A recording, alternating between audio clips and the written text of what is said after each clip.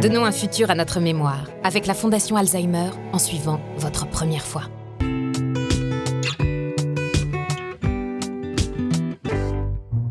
Alors ma première fois, c'était en 1975, c'était au lycée de Saint-Cloud, j'avais donc 15 ans, et moi qui étais très très timide, j'ai dit je veux être Belmondo, je veux être acteur. Et j'ai eu la chance qu'un acteur, justement très célèbre, vienne parler de son métier un jour, et ce monsieur, c'était tout simplement monsieur Lino Ventura. Il a dit une phrase qui m'a toujours marqué. Il m'a dit, vous savez, ce métier, c'est comme une orange. Tant qu'il y a du jus, c'est formidable. S'il n'y a plus de jus, on jette. Donc débrouillez-vous pour continuer à vous faire désirer dans ce métier.